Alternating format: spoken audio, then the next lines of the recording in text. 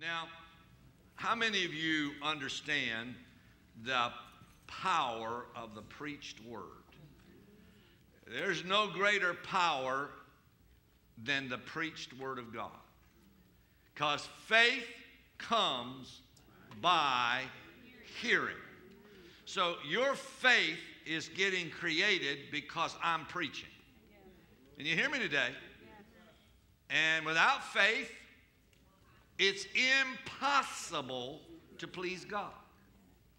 Without faith, it's impossible to please God. So I, I, I want you to get this. I want you to get this. Really, today is very important. Now, I want to start it off with five things I'm going to say, and then I'm going to write to the Word. And I'm going to preach on this for a couple of weeks here. I feel like this is a little series of something I feel like I can help build something.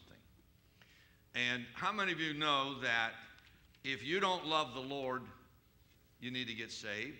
If you don't love His Word, you're not saved. Hello? You don't love His Word, you're not saved. It's a trick, saints. And I'm not a trickster.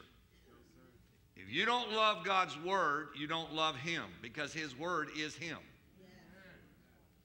He honors His Word above His name. Hello.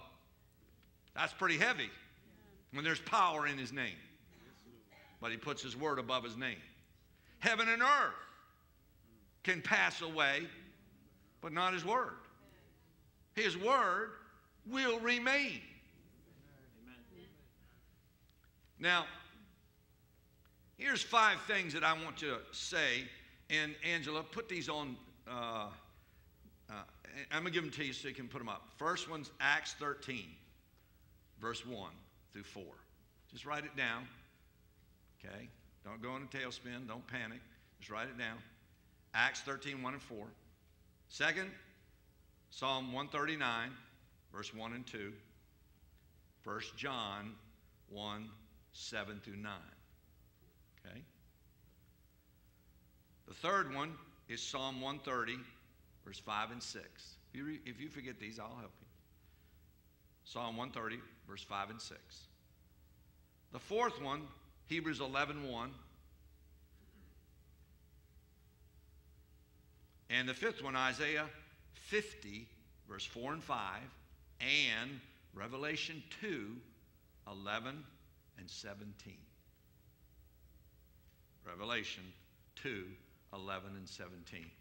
Now, there's a child in the back that has some kind of light, like a laser. I need that light cut off and not to come back on again. Do you understand? I'm pointing right there.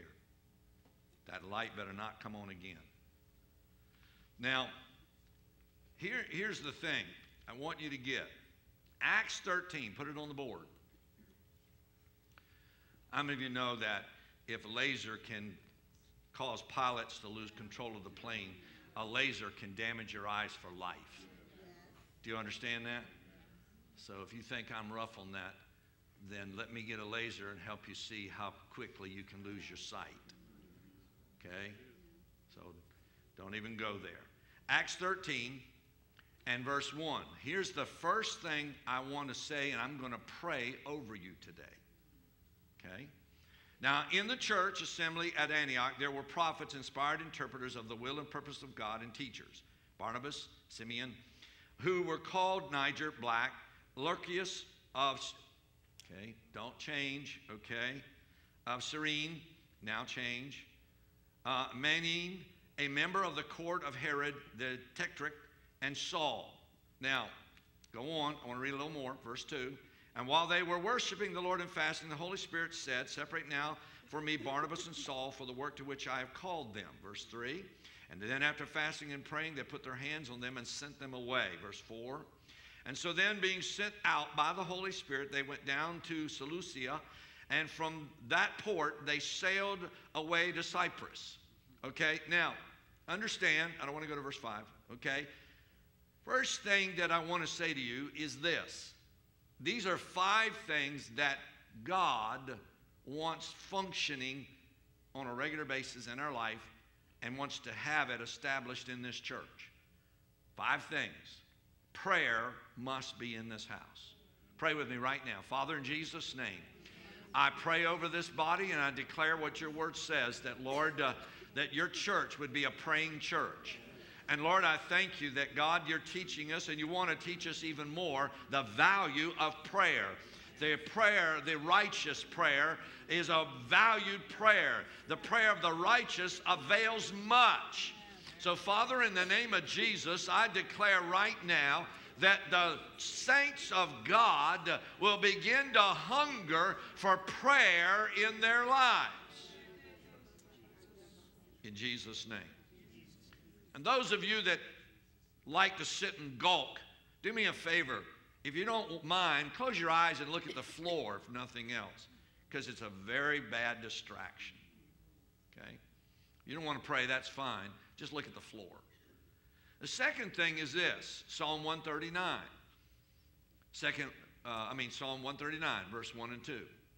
To the chief musician, a psalm of David, O Lord, you have searched me thoroughly and have known me. And you know my downsettings and my uprisings. You understand my thought afar off. How Have you hear that? How you know God knows you? God knows everything about you. First John, First John chapter 1. First John chapter 1. Look at that one. This is in sequence to that. First John 1 and verse 7. but if we really are living and walking in the light as he himself is in the light, we have true unbroken fellowship with one another, and the blood of Jesus Christ, his son, cleanses us, removes us from all sin and guilt, keeps us cleansed from sin in all its forms and manifestations. And if we say we have no sin, refusing to admit that we're sinners, we delude and lead ourselves astray, for the truth which the gospel presents is not in us, does not dwell in our hearts.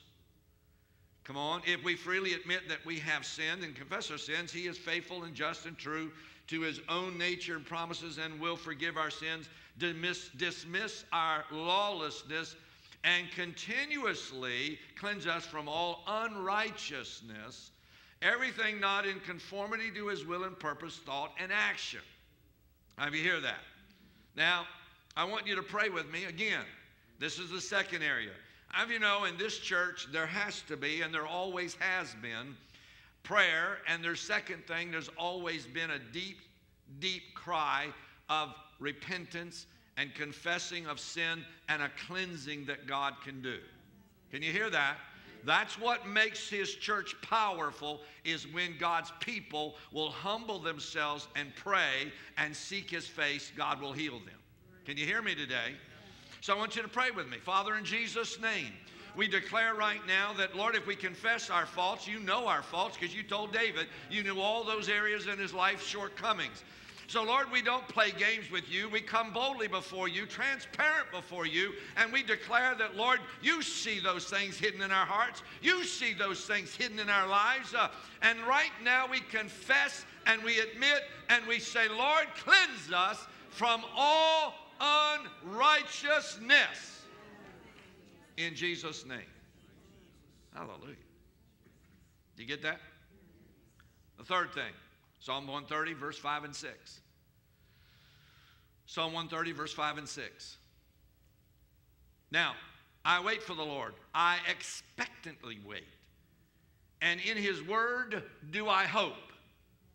That's it right there, number one, but we're going to go further. But number one, in this one, you're going to say with me that our hope is in this word. I'm not trusting in what the politicians are saying. I'm not trusting in what the economists are saying. I'm trusting in the Word. Can you hear that? I put my life in front of the Word. Now, go on to verse 6. I'm looking and waiting for the Lord more than watchmen for the morning. I say more than watchmen for the morning. How many of you know he's saying, I am waiting for the Lord. I have a discipline of the word and a discipline of waiting on the Lord. Will you pray with me now? Father, in Jesus' name, I pray over this body that God, there will be a fresh anointing of a discipline of the word. Lord, let your people stop despising uh, the word, being distracted uh, from the word, uh, but fall in love with the word. And may the word be a light unto their path. Uh, may it become the very hope of their hearts. In Jesus' name, may the word be alive. And may we discipline ourselves uh, to wait on you, God, uh, to spend time waiting on the Lord. Be anxious for nothing, but in all things give thanks, for it is the will of God in Christ Jesus concerning you. Learn that waiting on the Lord is powerful. Father, we thank you. We've gotten to this stage in our life that we want to renew these vows. We want to renew these covenants with you. That, Lord, prayer and confessing of sins uh, and discipline of the word and of waiting on you have become a part of Rock Church's history. May it be in the life of the millennials and the life of those in this house. May it be a part of their life. Number four, Hebrews 11 1. You say, well, what are you doing, Pastor? I'm doing a deliberate act here. I'm deliberately doing an act of faith here today. For you that have no idea what God's doing, and you criticize what God's doing, may your tongue cleave to the roof of your mouth. May your tongue cleave to the roof of your mouth. And the next time you put your mouth on what God is doing, may you not be able to speak until you repent. You can ask this church that's been here a long time. Man walked in this house, came up threatening me, want to kill me. I simply pointed my finger at him and said, Your tongue will freeze to the roof of your mouth. He didn't speak for one hour until I went over and prayed for him, and then God loosed his tongue so he could talk. How many of you are listening today? I'm not here to play church, saints. I'm getting ready to go to a conference this week. I have another one coming up. I have about four in a row that I have to be at. And I'll be gone a couple days this week and a couple days next week and just constant. Now, in that process, I'm going in, and these are leaders coming together. These are not, these are not open to the public. These are some of the largest, most powerful leaders in the body of Christ. And God is talking to us, telling us to come together. We were just in one in Atlanta. We got another one down in Florida. We got another one in Dallas and another one in Dallas. And God's assembling uh, his eagles. He's assembling the eagles, not the buzzards for the buzzards eat dead stuff. But God's assembling the eagles so that they can eat that which is alive in Christ. And because I'm in those meetings, I'm always asked to be one of the speakers. And because of that, I go there with a different attitude. And I'm not there to entertain people. The church needs to come back and revisit some ancient uh, uh, uh, uh truths uh, and foundations. And we need to put our eyes on the horizon and see there's more to come. But we need to revisit those ancient things and redig those wells and redig those foundations and say, Lord, make the church strong.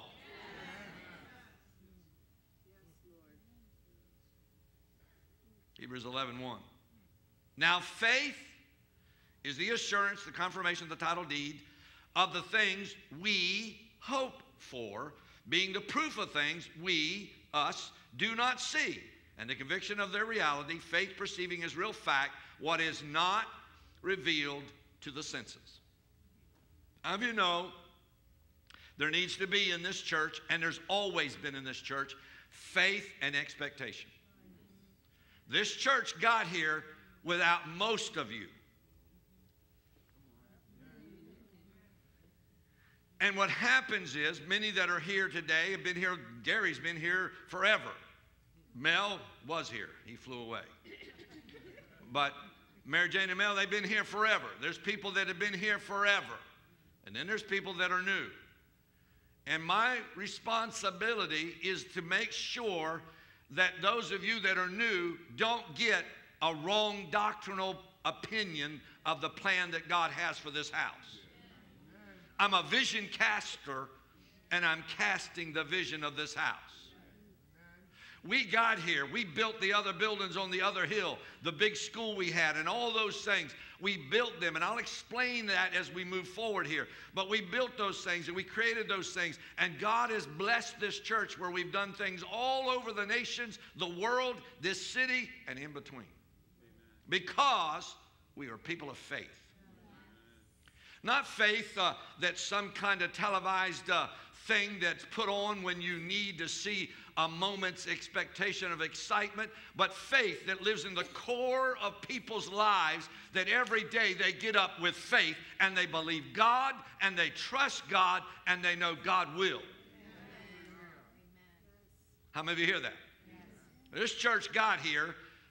You're sitting in the faith that I have, and you're sitting in the faith of those that have invested in making sure this house would be here.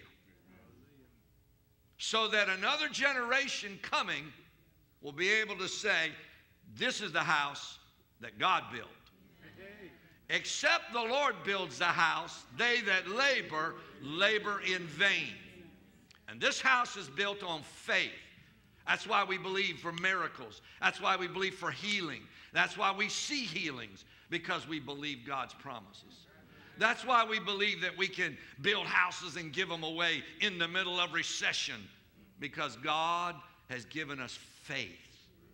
Some of you that have faith and you've allowed it to, to trickle down, I'm reminding you of what I said at the offering. It's time to go up and time to go in. You got to get your faith to the place where it needs to be. You got to begin to practice it. You got to begin to act like you have faith. You got to begin to trust God in your faith. You got to begin to declare, This is what the Lord wants to do, and I know He will come through for me. Are you hearing me today? I haven't started preaching yet. That don't mean I'm going to be long, I just haven't started. Prayer, confessing and repenting and cleansing discipline in the Word, and discipline on waiting on God, and faith and expectation. I expect God to show up. I come here to preach expecting God to show up. Can you hear me? I told you last week to bring your oil, right? And how many know it was a powerful service? I didn't come doubting that. I came expecting that.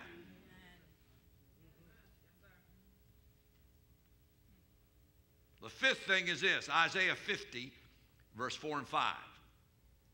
And the Lord God has opened, uh, uh, okay. The servant of God says, The Lord God has given me the tongue of a disciple uh, and, and of one who is taught, that I should know how uh, to speak a word in season to him who is weary. He awakens me morning by morning. He awakens my ear to hear as a disciple, as one who is taught. Come on, verse 5. The Lord has opened my ear, and I have been rebellious. I've not been rebellious or turned backward. How many of you hear that? One of the keys right now is God has always caused this church to have an open ear to the prophetic word of God. Eric Butler will be here this November for our conference, along with uh, John Tort- uh, Testola, and he'll be here. It's going to be a great conference. And some of our sons are coming in, and they're coming in for prayer. We have a, a new pastor and his wife coming in uh, at September at the uh, Labor Day uh, service on Sunday for us to lay hands on him and his whole team. He's planting a new church, and he wanted to come here and get prayer from this church. How do you know that God uh, has given this church and given us the ability to hear the word of the Lord? We have moved at the right time. We have moved into the right thing because we've heard God. Come on. Are you listening to me? So this church has had an open ear, Revelation 2, 11 and 17. He who is able to hear, let him listen to and heed to what the Spirit says to the assemblies, churches. He who overcomes is victorious, shall no way be injured by the second death. Then to the angel, messenger of the assembly church in Pergamum, uh, Pergamum uh, there were the words of him who has and wields the sharp two edged sword. Go to verse 17. 17. He who is able to hear, let him listen to and heed what the Spirit says to the assembly churches. To him who overcomes and conquers, I will give him to eat of the manna that is hidden, and will give him a white stone with a new name engraved on the stone, which no one knows or understands except he who receives it. I will say, Lord, uh, give me an ear to hear. Can you hear that today? Now, I want you to put your hands over your ears. Father, in the name of Jesus, I declare right now that your people uh, will he- be healed today of deafness. Lord, I rebuke the spirit of, of deafness and muteness over the people of God uh, that they will today begin to hear like never before. They'll hear the word of the Lord. Now open your hands. Now, Lord, I pray right now healing comes into those ears, that they'll hear. The Bible says you hear the sh- voice of the shepherd because you know him. May you hear my voice. May you hear the voice of God. May you hear the voice of authority. May you hear the voice of Jehovah. May you not hear the voice of Satan. May you not hear the voice of fear. May you not hear the voice uh, of doubt and unbelief. May those voices be silent. May you not hear the voice of confusion and double mindedness. But may you hear joy and peace and righteousness and hear the word of the Lord. Hear the word of the Lord. Do you hear what I'm saying? You'll hear the word of the Lord. Now, I set you up. Recently, I preached several messages. One uh, I preached was truth decay. You remember that? Another was follow me. Not me, him. And last week I preached about a need for refreshing. Have you got that? And currently, uh, I, I, I, alluded to this a minute ago. Currently, I've been asked to speak at several key conferences where there's a gathering of the eagles because it's time for God's leaders to come together and reason with one another. And we're discussing things that are of high level doctrinal issues are being dealt with. We're looking at and studying. We have scholars coming in our midst. We have those kinds of people that break down these things, that have PhDs, and those that study, and those that have experience uh, are coming. People that have been in the move of God for 50, 60, 70 years are going to be there. And then young millennials are going to be there. Young men and young women that are set on the course of turning uh, this nation around for the glory of God in business and in law and all kinds of places and building churches that are growing by just an absolute storm. We're coming together so that we can sharpen our axes for the day that's ahead. Can you hear me today? We're talking about some of the foolishness that's preached. And we're going to deal with it. We're going to talk about some of those things. We're talking about the void of the power of God in the church. It's a shame that God's church that was birthed with power is become so powerless. Hello. Now, in the gathering of these leaders, we're coming together to sharpen our swords.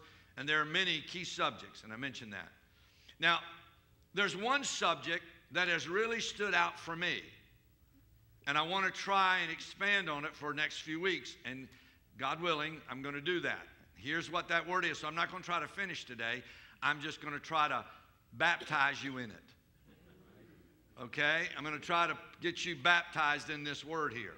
Can you hear me today? Now, the word is this corporate gathering. You can write it down. Corporate gathering. Now, there's another word that is a secular word that I don't use, and I'm going to push against it today. And that is the word community. When you hear that word, it has connotations, it has this sense of wow, unity, coming together. It's not. Have you hear that? The difference is going to be clear. I'm going to give you Hebrew and Webster's dictionary difference so that you can get your subject matter straight. What I call the church that's emerging, the apostolic church that's emerging, that means driven by apostles and prophets because the scripture says the church foundation is built on the apostles and the prophets. Jesus is the cornerstone. Now, it does not say it's run by boards. That's not biblical. Hello? It's not a denomination. Many of those denominations have turned into abominations. Now, the corporate gathering is what I call it. And let me say, that secular word that I was talking about, that gathering, is the word community. And the Greek word koinonia covers both of these words. So we see koinonia, it is fellowship. When people talk about community, they talk about it as a description of what the church is, not what the church does. There is a difference between what the church is and what the church does. Have you hear that? The church is a corporate gathering facility, place. It is a corporate body. Now, the reason that I come up against that word is because the word community is used by the secular world and it's being used by humanists and it's being used to contaminate the church. Why? Because that word community is defined as isolation, separatist, and segregation. Those three words define that word community. When you say, I belong to a community, how many of you know we have communities today that are called gated communities? Right? Hey, look at me. That means you and me can't go in there. Come on.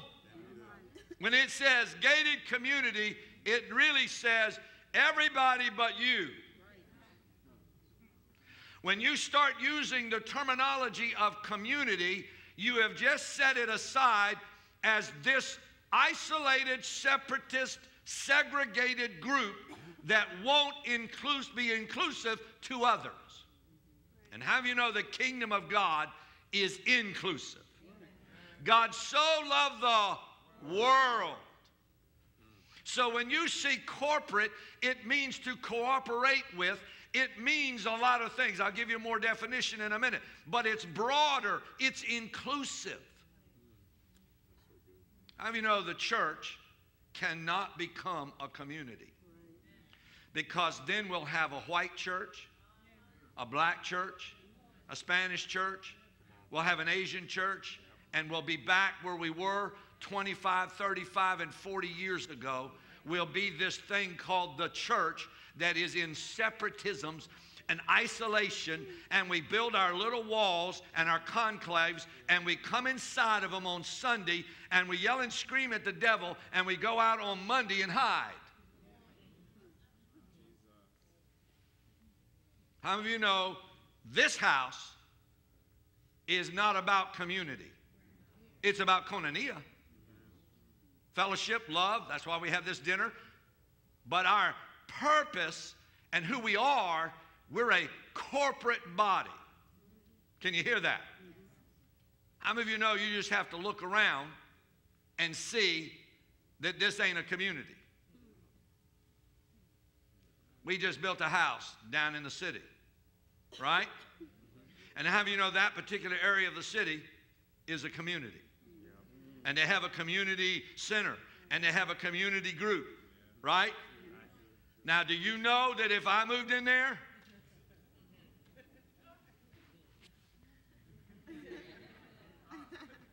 Come on. Do you know the reverse is true? There are places Downtown, there's places, you know, in all these new high rises.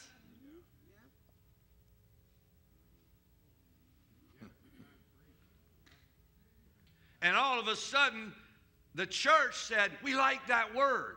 No, the humanist demonic spirits that have infiltrated into the speaking and doctrine of the church put a word in there that sounds good, and we took it. How many of you know that's why this church is so unique, is because it ain't white, it ain't black, it ain't yellow, it ain't tan, it ain't in between. Do you understand that? And how many of you know it ain't wealthy, it ain't poor, it ain't in between? It's both. Do you understand this? And the minute we go and call ourselves a community, I want you to remember it's gated. Do you know years ago somebody said to me, because we had some uh, people coming up here when we first started on the other hill over there, and there were young people coming up and they'd park their cars at night and they'd kiss and love and do all kinds of crazy stuff. And somebody said, Why don't you put up a gate? I almost flew off the table. And I said, A gate? What spirit is that? There's not going to be a gate here because a gate says, Stay out, only us. How of you know this church has always said, Whosoever. Drunks come in with booze on them. I mean, booze, drunk. The number one wino in all of Baltimore came in this church. How do I know that? Because the police came behind him. came in this church. I laid hands on him. He had throw up all over him. Had a bottle, he had just drank a big swig of it and broke it against the cement. Came in and sat down. Boy, the saints, they were parting the sea. And when the altar call came, he walked down. And he came down and I laid hands on him. I'll never forget, I put my hand on his forehead. When I did, he hit the floor on his butt, landed right on his butt. Boom! And he was completely sober. And he said, he looked up with big eyes, and the person standing there, one of the, one of the guys was counseling, he looked up and said, What in the hell did he do to me? now, some of that hadn't gotten sanctified yet. We were still working with him. We got him up, and he said, I haven't been sober in so many years. I can't. He's the largest dairy farm owner in the state of Pennsylvania. He was. He was a fighter pilot had a history of unbelievable, lost everything. I hired him, gave him a job as a janitor. I got a dentist to give him false teeth because he had no teeth. And two years later, living in one of the ladies' houses here at the church, he died. Died in his bed, cirrhosis of the liver. But in that season, God brought healing to him because we're a corporate church, not a community that isolates us from anybody. Gay can come, and in between. Muslims have sat all across the front row in this service with their garb on. One lady came in and she was a Buddhist, doctor big time in Hong Kong. Sat right there. She broke her shoulder just before she graduated. And on her way home, she stopped here because one of the people that brought her brought her here and had me lay hands on her. I touched her. I didn't know that she had a bad shoulder. They just said she needed prayer. She didn't have a sling. She didn't have any of that. I touched her. When I did, she yelled. I, I thought, what in the world? They said, she has a bad shoulder. You probably hurt her. She threw her hands up. She said, oh my, what happened? And God healed her. She went home to Hong Kong, started attending a church, gave her life to Jesus, and got out of being a Buddhist. Why? Because whosoever. Can you hear me today? And that's what this church is. And this church will never, as long as I'm here, lose that because that's what makes us a corporate gathering body. Can you give the Lord praise? Now, let's go a little deeper. We're going in deeper now. We've gone up some, we're going deeper. when the word corporate, where the word corporate is more of a kingdom term and is inclusive, the whosoever, religion uses community, kingdom uses corporate. Can you hear that? Left alone, everything in nature degenerates. How many hear me? Left alone, everything in nature degenerates. What do I mean? I'm still on target. Just listen. Freshly cut flowers that are stunning and, and they're beautiful become wilted and brown in a short period. Isn't that true? Everything in nature, you, degenerates. Galatians said, My outward man is perishing every day, yet my inward man's renewed. Come on. How many of you know you got up this morning older than you were yesterday? There's another wrinkle that you didn't realize. There's a freckle that showed up. All of a sudden, you're realizing the mirror, mirror who on the wall. Why you yelling at me now? Some of you going, oh, not me, man, not me. Your day. See, you can lie to that mirror as long as you want. And then one day, you get up there and look at it and you go, where did that come from? Because it's a degenerating process. Acts 20, verse 28. Paul exhorts the overseers to care for all the flock. Paul said he wants the overseers to care for all the flock. A flock speaks of all the sheep together as one body, the whole, but composed of individual sheep. Now, at times in life, family, work, and church, and some areas around us are doing well and some are not because the law of degeneration is at work. How many of you know sometimes in your family things are going well and sometimes they're not? Sometimes in your job is going well and sometimes it's not. And sometimes in the church there's good going on and then sometimes it's not. Because degeneration is going on constantly. How do you know God will let some things die so that other things can come alive? Are you still following me? I'm talking about the corporate gathering body of Christ.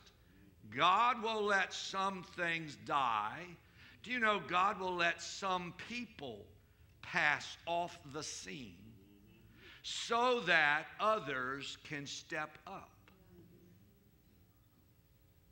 Oh boy. Now, Jeremiah 2:21. He said, "Yet I have planted thee a noble vine, wholly a right seed. How then art thou turned into the degenerate plant of a strange vine unto me?" That's New King James. New King James says it, as you've turned into a degenerate plant of a strange vine unto me. How do you hear that? God said, I planted you, Rock Church. I planted you as a noble vine, wholly a right seed. How then art thou turned into a degenerate plant of a strange vine to me? How do you know those points I read to you, those five things? When we walk away from those, we begin to degenerate because it's vision that gives us life. Can you hear me? Vision keeps us alive. And history reminds us of the vision. And this generation today has no understanding of history. The only thing you want is now, today, current. But if you don't know where we've come from, you'll abuse where you're going.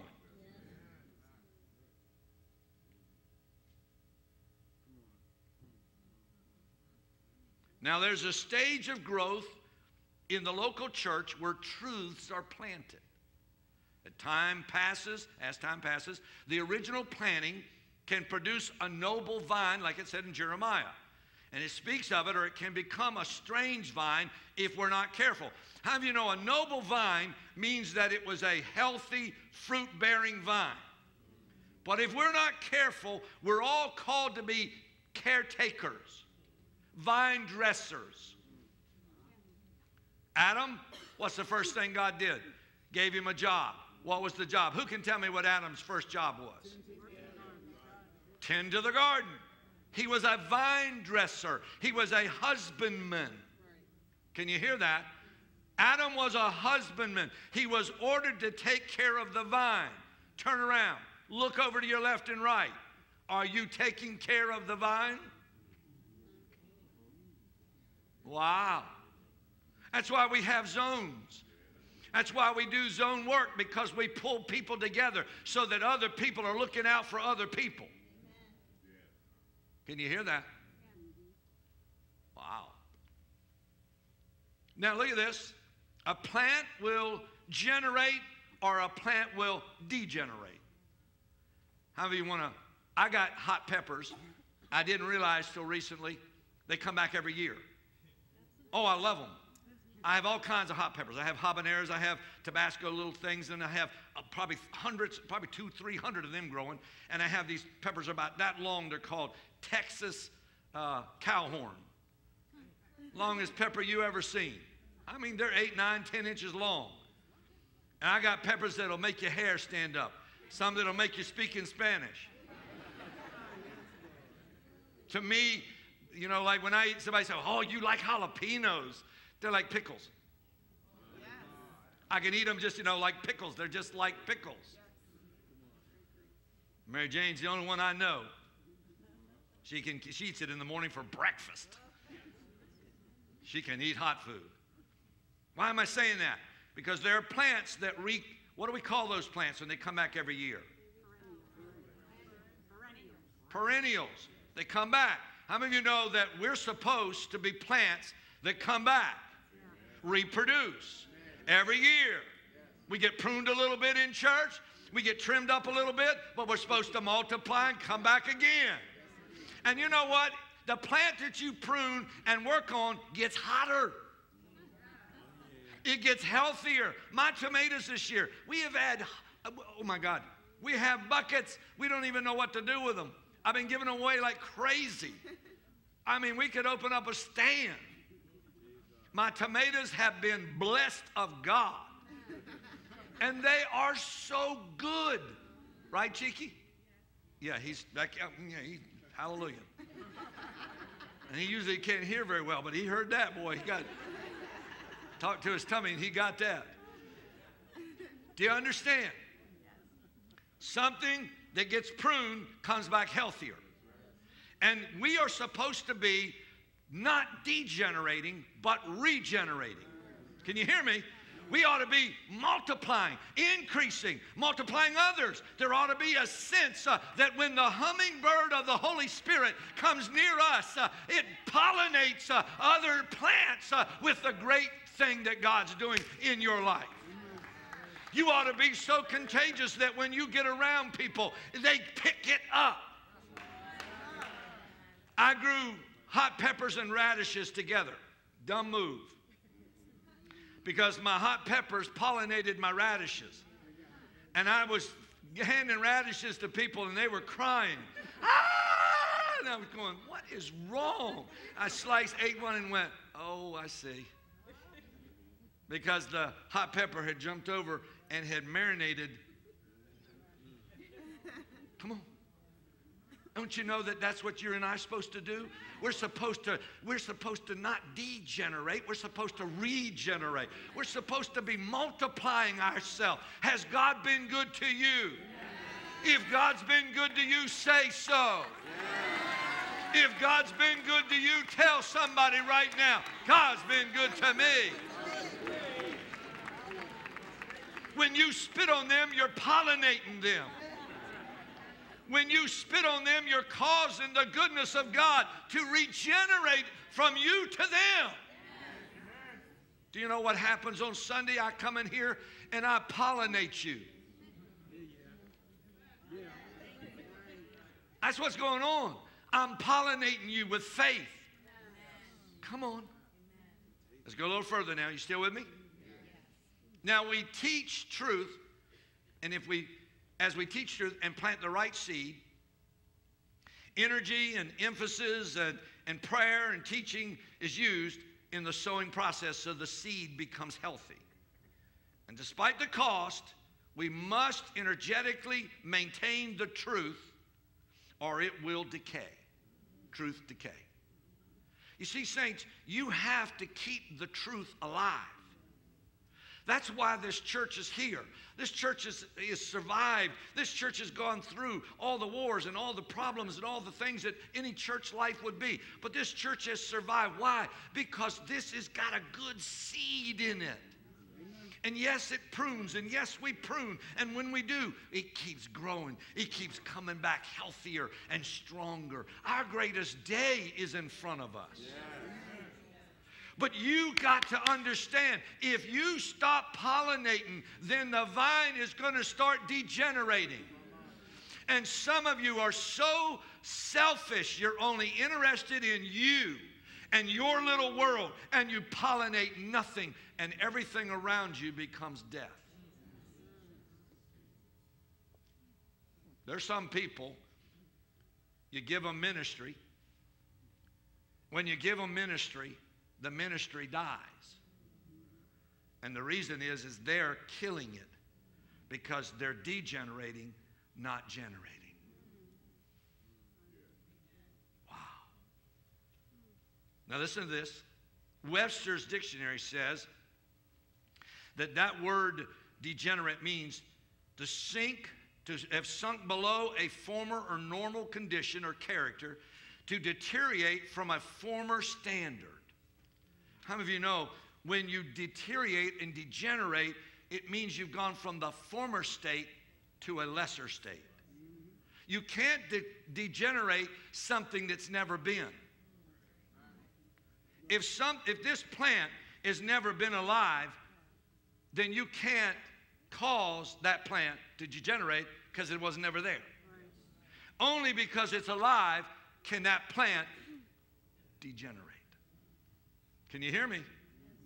So when you're in God's house and you're the body, you're the corporate body, you're supposed to be regenerating. Has everything you touch started coming alive? To ensure that the degeneration doesn't happen, we are going to have to look at something. We have a twofold responsibility. Hebrews 13, 17 says, we need to watch and we need to pray. Twofold responsibility. If you're not going to degenerate, you have to watch and you have to pray. Some of you watch thinking watch TV. I'm talking about as watchmen, prayer watching. Can you hear that? Alert, spiritual, seeing discernment, knowing what the spirits of the world are about. Come on.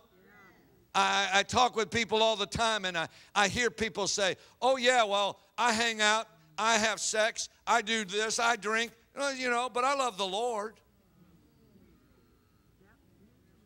Because they have not had a meeting with God, they've had a religious experience.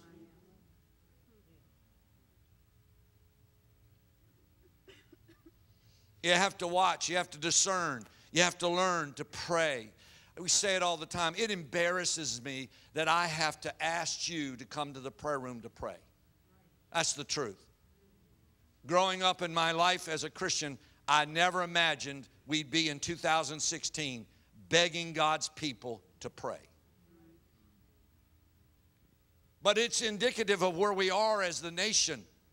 We forgot how to pray. We forgot the desire to pray. We don't even care about prayer. We pray little prayers when we get in trouble.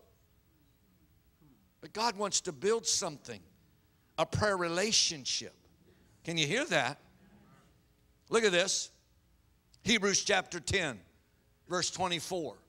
Hebrews 10, 24 and 25. So let us consider one another to provoke one another to love and to good works, not forsaking the assembling of ourselves together as the manner of some is, but exhorting one another, and so much more as you see the day approaching. We know that scripture, but look, saints, we're supposed to be considering one another. That means you're, you're generating life to somebody. And we're supposed to provoke one another. I'm here today to provoke you. Hello? To get off of your your your your your your fence and begin to really serve God with all your heart. Can you hear that?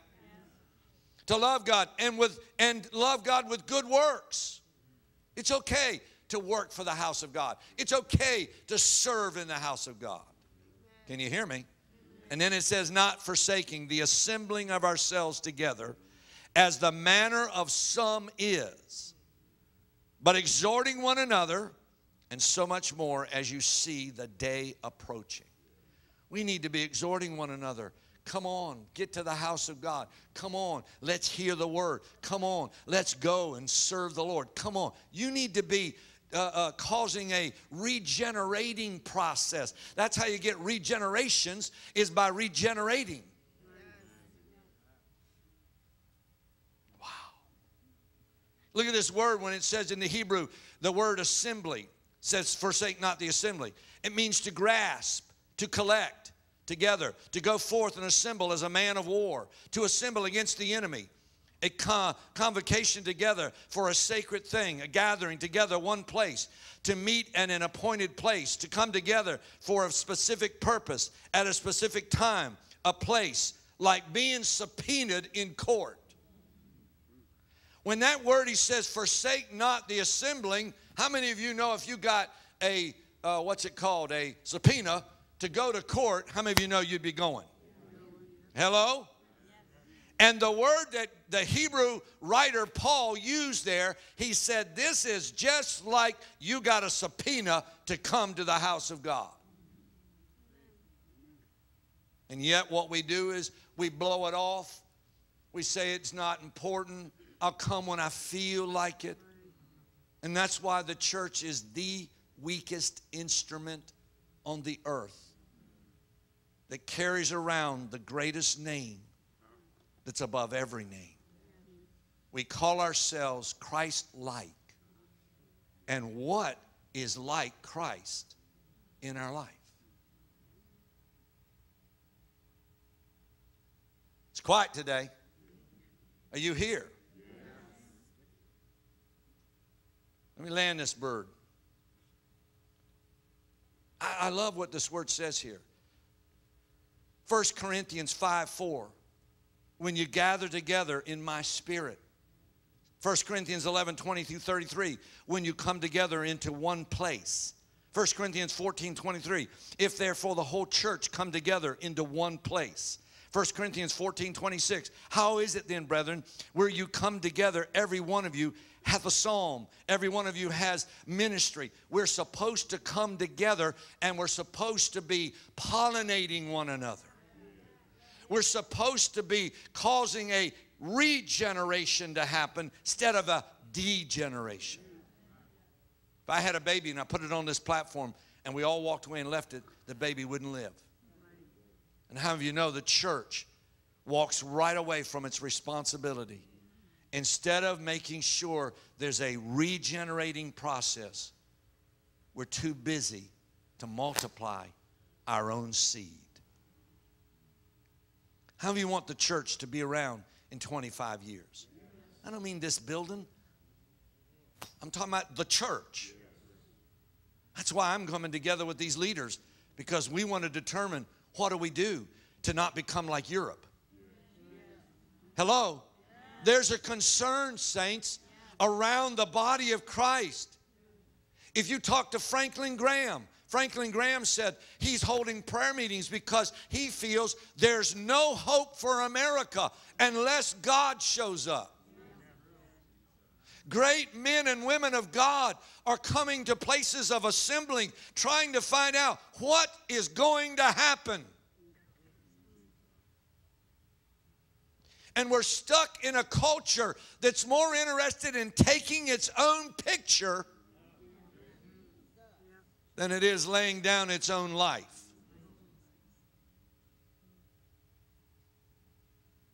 Wow. Here's the last two pieces Isaiah 4 1 and 6. Please look there. Come on, turn there. Are you there today? Come on. Isaiah 4 1 and 6. Isaiah 4 1 and 6. And I'm in the New King James, yeah. And in that day, seven women shall take hold of one man, saying, We will eat our own food and wear our own apparel. Only let us be called by your name and take away our reproach. That's a powerful scripture. In that day, the branch of the Lord shall be beautiful and glorious.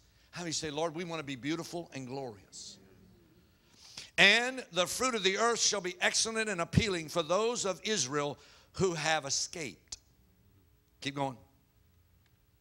And it shall come to pass that he who is left in Zion and remains in Jerusalem will be called holy, everyone who's recorded among the living in Jerusalem. And when the Lord has washed away the filth of the daughters of Zion and purged the blood of Jerusalem from her midst by the spirit of judgment and by the spirit of burning, then the Lord will create above every dwelling place of Mount Zion and above her assemblies a cloud and smoke by day and a shining of the flame by night. For over all the glory there will be a covering. How you say, Lord, thank you. You're going to put a covering over us. Come on. And the Lord will create upon every dwelling place in Mount Zion, upon her assemblies, a cloud, smoke by day, shining a flame by fire by night, and upon all uh, the glory shall be uh, uh, uh, a, a uh, covering. Now, look, here's one thing, and it says in, in, in another translation, it says, it will also be for a place of refuge. How do you know the church is called the city of refuge? That's what we are, saints. We're a city of refuge. And I'm going to close today by reading this portion, and then I'm going to pray with you because I'm going to build something on this. How do you understand here today what I'm telling you? Yes. That you and I are the corporate body. Look at Zephaniah. you say it's in your Bible? Yes. Old Testament, Zephaniah chapter 1. This is the landing spot. This is the landing place. Zephaniah chapter 1. You say, does that, is that even in the Bible? Yeah, yeah, it's there. Now, let me tell you that real quick. If you go to the book of Zephaniah, the book provides an insight into the co- concept of corporate gatherings as a place of refuge. The name Zephaniah means Jehovah hides, and hidden of Jehovah, or Jehovah conceals or protects. So when you see Zephaniah, it is the Lord will protect and the Lord uh, will conceal you and hide you. How do you know the church needs to be hidden from the enemy and exposed to the sinner? I'm going to say it again. The church has to be hidden from the enemy but exposed to the sinner.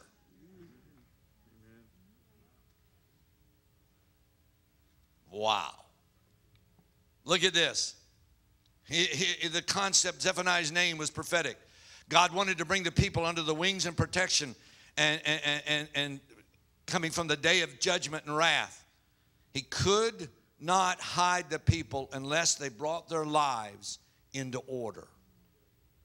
Look at this, and I'm going to read just a few verses.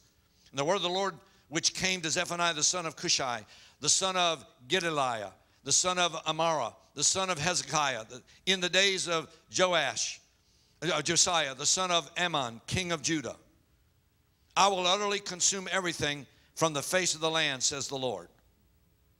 I will consume man and beast, and I will consume the birds of the heavens and the fish of the seas and the stumbling blocks along with the wicked. I will cut off man from the face of the land, says the Lord. I will stretch out my hand against Judah and against all the inhabitants of Jerusalem. I will cut off every trace of Baal from this place and the names of the adulterous priest and the pagan priest.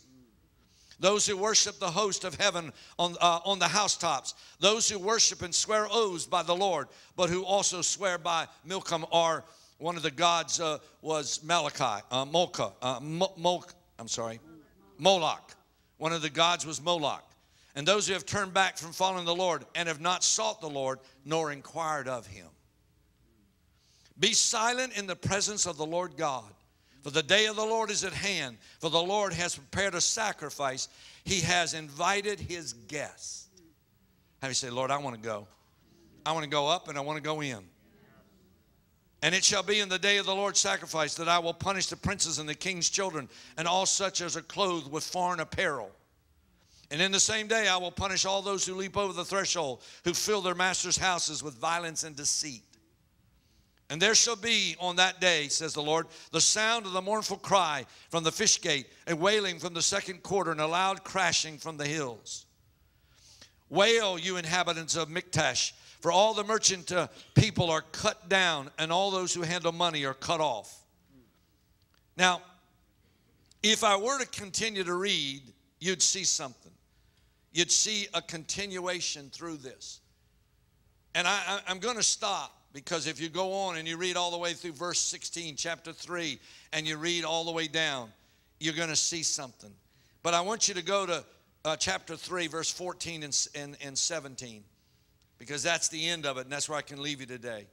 If you read the rest of that on your own, you're going to see what God wants to do here today and what He wants to do in the church's life.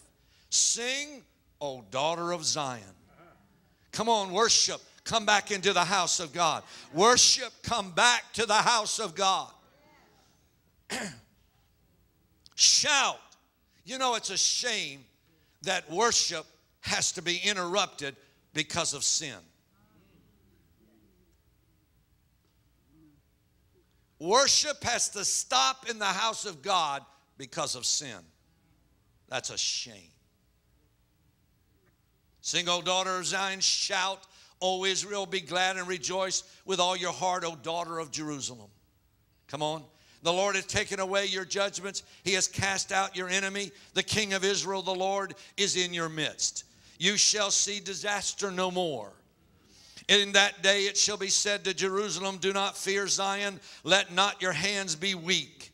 And the Lord your God in your midst, the mighty one, will save. He will rejoice over you with gladness. Uh, he will quiet you with His love. Uh, he will rejoice over you with singing. Can you hear that? I will gather those who sorrow over the appointed assembly, who are among you, to whom its reproach is a burden. God says, I'm coming. I want to bring something back into the house. I want to bring back healing and joy. I want to bring back restoration. I want my people to regenerate. I want you to multiply and grow and grow and multiply yourself and the goodness of God. Stand on your feet. Give God some praise here today.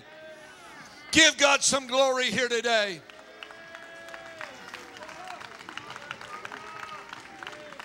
Come on, lift up your voices, lift up your hands, uh, give a shout to the Lord. Father, we thank you today. We thank you today. For a day is such that we would begin to see a regeneration process. Uh, May the planting of the Lord uh, be fruitful. May the planting of the Lord uh, multiply, multiply. I want you to say, Lord, multiply me. Tell the Lord right now, multiply me, Lord. Make me so alive that I begin to be that vine that produces life and that I regenerate life every time I show up. I cause those around me to come alive. I cause those near me to come alive because there's a regenerating process. Uh, I'm alive in God. Thank God I'm alive in Him. Uh, and my King has come back to revive me and to restore me and to renew me. Uh, Father, thank you uh, for the day is at hand, God, uh, that you want to bring healing across the nation uh, to the body of Christ. you want to awaken the body of Christ with power power and power and power.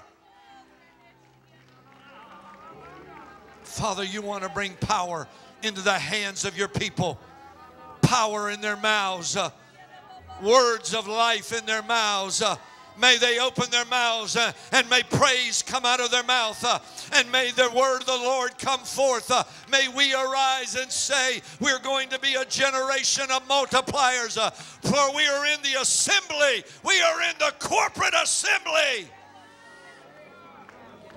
We denounce community mindsets. We denounce a community mindset. We're not isolationist. We're not separatist. We're not going to be community organizers. We're going to be those uh, that are of the corporate body of Christ.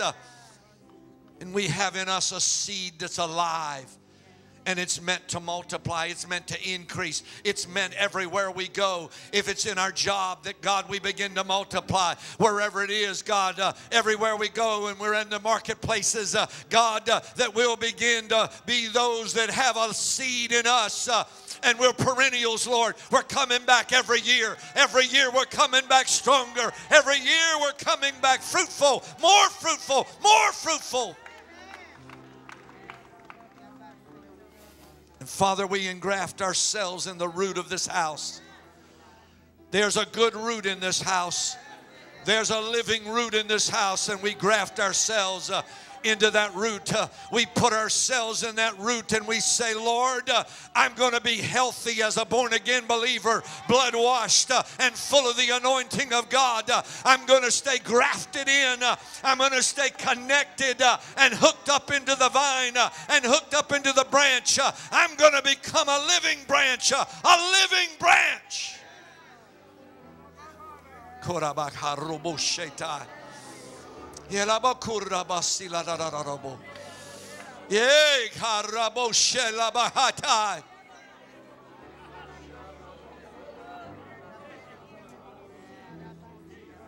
Zephaniah said, one of the things that came that brought the judgment of God in that scripture, in that season, was the people had become calloused and careless. Israel, Judah had become, Judah means praise. They had become calloused and casual. And I gave you those five statements of what Rock Church is about, saints. This church is not going to ever be like the church on the corner. It is not our destiny. It is not the markings of God. But what this church is, it's a prayer center. It's an apostolic center. It's a corporate body of men and women that want to grow up and be all they can be for God. Men and women that want to grow up into a full stature, the mature sons and daughters of God. Men and women that want to be really solid citizens of the kingdom of God. Not casual Christians, not fly by night every day, uh, fickle Christians. Uh, we don't want to Christianize anything. We want to be solid citizens of the kingdom of God that opens the door of our heart and lets in the whosoever. We refuse to become an isolationist, a separatist, caught up in all of the gimmicks of the world call up in all the racial divide in the world. We are a people, a holy people, a royal priesthood, a peculiar people that should show forth the praises of our God. We are a unique set of people that we don't have to apologize. It makes us not better than anybody, but it makes us unique uh, and it makes us not commonplace. Uh, it makes us a people that have an identity, have a mark. Uh, we have the mark of God on us uh, because God wrote his name over this house. Uh, and Jehovah Jireh is his name, and Jehovah Nisi is his name. Uh, he is our banner. Jehovah Rophi, he's our healer. God is our deliverance. Uh, He's our bright morning star. He's the lily of the valley. He is the answer, the way, the truth, and the life. He's our King. He's our God. I want you to put your hand out. Close your eyes and put it out and say, Lord, may my life begin to regenerate. And I stop, say it with me, I stop the degeneration of my soul and of my spirit. I stop the degeneration process. Today, I received nourishment. I received health. My seed is alive. My seed is germinating. And it's going to multiply. It's going to bring increase. It's going to touch others. It's going to have an effect on others. It's going to begin to be contagious because the seed in me is growing uh, and its vine will run out all over the place to the left and to the right and everywhere I go and everything I touch will begin to multiply and begin to increase because I am regenerating.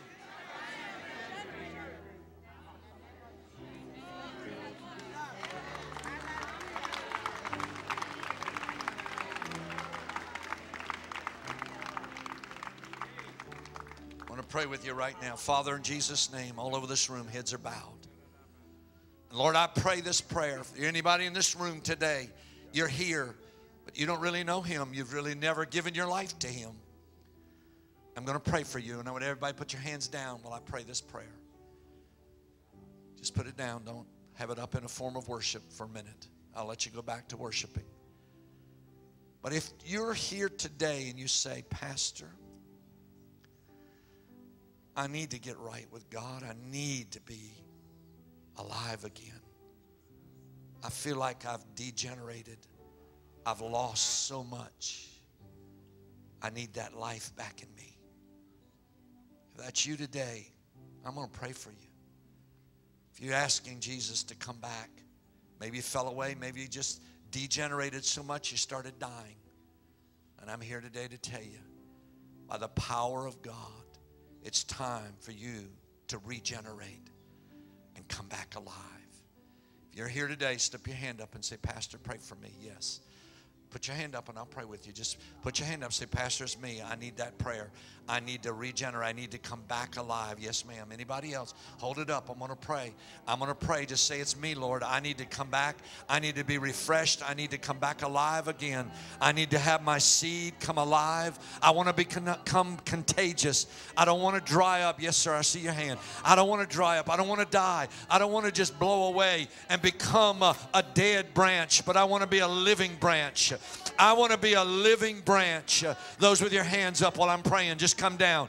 Those with your hands up, just come down so we can pray with you. Slip out of your seat and come now. Father, in Jesus' name, that's right. Just come out of your seat right now and say, That's me. I'm going to do this thing right. I'm going to get myself back in God.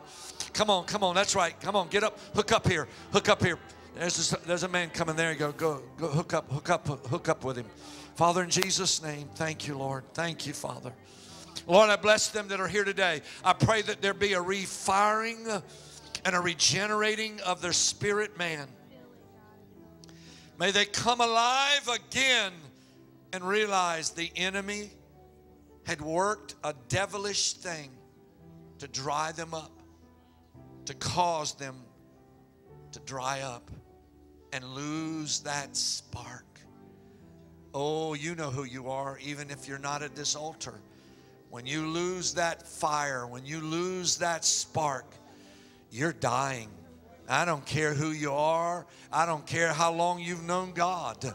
But when you lose that spark, when you lose that fire inside of your soul, you've begun to die and you're withering up.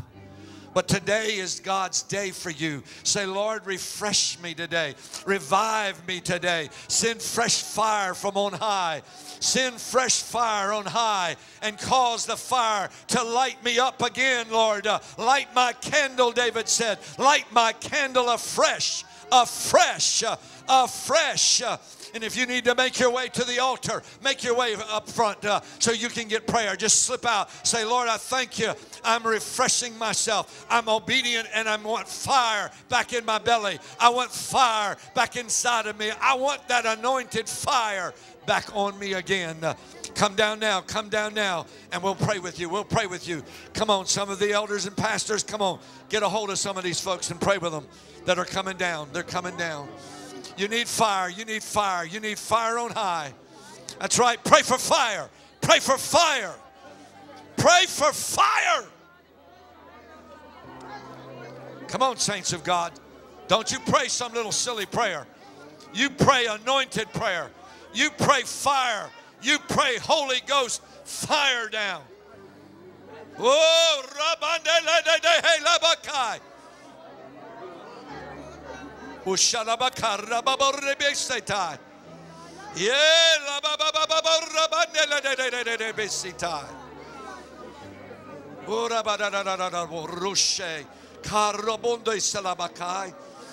Oh, come on, pray in the Spirit.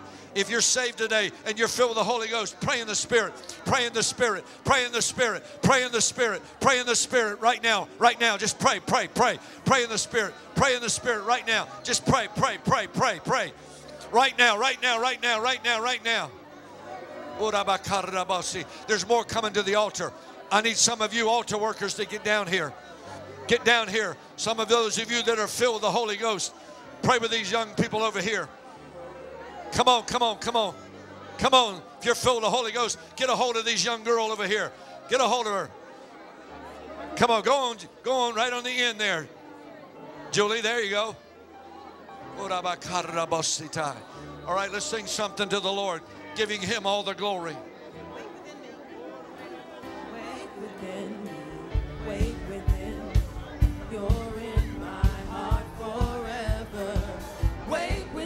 Come on, sing it.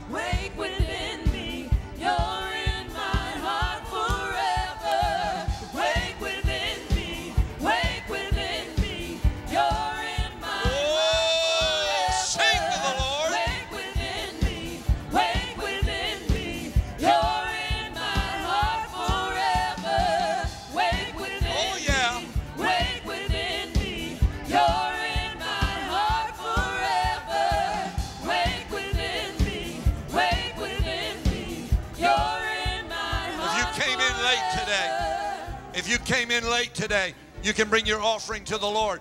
I really want you to remember what I said. We came up short last week. I don't want to come up every week short, saints. We can't survive it. You need to say, It's time for me to sacrifice. You know who you are. You know who you are. And you need to sacrifice that gift today so that the house of God can flourish. Come on, come on, obey God. Listen to the voice of God. You give that extra, you give that amount He tells you, and God is your reward. Come on, Here we go. sing it again. At break of day and hope we rise, we speak your name. We lift our eyes, tune our hearts to your beat. Where we walk, there you'll be with fire in our eyes, our lives alive. Your love untamed streets will go forever right. Your glory is breaking through the night. You will never fade away. Your love is here to stay